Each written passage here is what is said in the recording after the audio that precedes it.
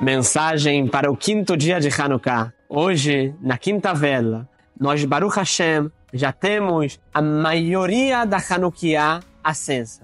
E nós lembramos do milagre que aconteceu na época do Beit HaMikdash. Depois que os gregos impurificaram todos os azeites do Beit HaMikdash. O milagre foi que nós conseguimos achar um potinho de azeite puro com o carimbo do Kohen Agadol, que esse azeite ia durar somente para um dia.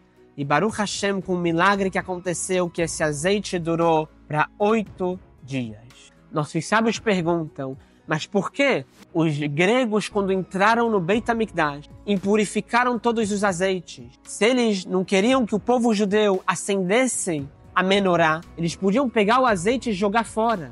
Mas não, eles deixaram lá os azeites, mas de uma forma que o azeite está impuro e não pode se acender a menorá com azeite impuro.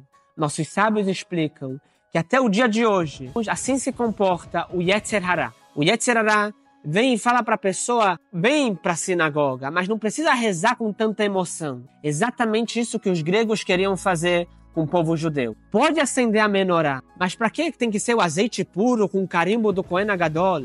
Aceite com azeite impuro.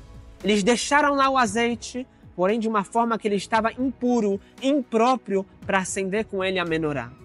Vem nossos sábios e falam na festa de Hanukkah, nós devemos lembrar que não somente devemos cumprir a mitzvah para sair de obrigação, acender a vela, e sim devemos cumprir da melhor forma possível e com toda a emoção e com toda a alegria e com vontade realmente de cada mitzvah que a gente vai cumprir para se conectar com a Kadosh Baruch Hu.